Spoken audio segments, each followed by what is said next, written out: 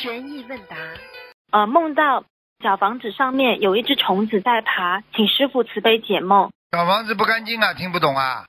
哦。你比方说你吃荤食的人，你刚刚吃完肉，你念小房子就会有虫子在上面爬。哦。你们看不见而已啊。嗯。好的好的好的。